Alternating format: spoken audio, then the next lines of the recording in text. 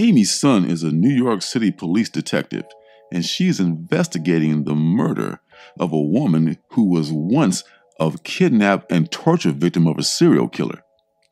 Three years ago, that woman was rescued from a serial killer, almost like a scene out of a movie.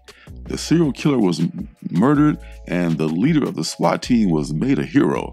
Three years later, that same woman is murdered under mysterious circumstances. And while she's investigating that murder, Amy uncovers some things about that lead detective, or I should say, that lead uh, guy in the, on the SWAT team.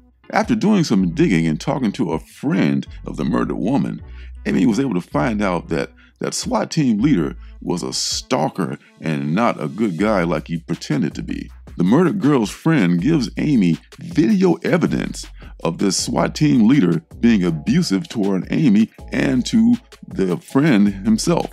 When Detective Sun brings this evidence to her captain, he just kind of poo poos it and tells her to sit on it for a while. And uh, he doesn't really want to make a big deal about it right now, right after the, the whole riots that happened last year and blah, blah, blah, all this stuff. So basically, he tells her to just, just sit on it for a while.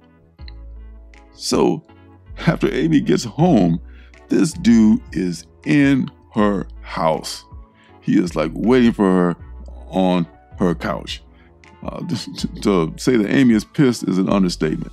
So that just shows the arrogance and the entitlement and the way that some of these guys feel that they are bulletproof uh, when they're in these positions. After that tense confrontation, Amy, of course, gives her captain a call because she's no fool. She knows that she has been sold out.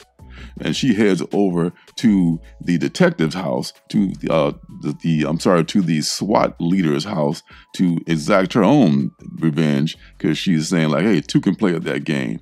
But as fate would have it, uh, karma is already been served uh, to this SWAT team leader, and it is served uh, beautifully. This may be the favorite thing, uh, or my favorite thing, by Garth Ennis in a while.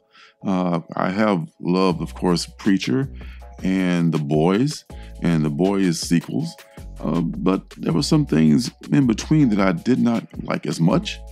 But I, I like this a lot. Uh, this is like a police procedural done by Garth Ennis, and this is the only kind of police procedural I would ever consider watching if ever on television. So I, I think I'm going to stick with this. Uh, the Ribbon Queen is has my attention in this first issue. I like it a lot. So I'll be definitely checking out the, the next issues to see where it goes. This is um, this is some pretty good stuff. So that's going to do it for this Indie Comics review. Uh, thanks for stopping by. Be sure to hit the like button and the subscribe button and turn notifications on so you know when I'm making my next video. So until next time, I'll see you guys in the funny papers. Hey, don't forget to subscribe and leave a thumbs up.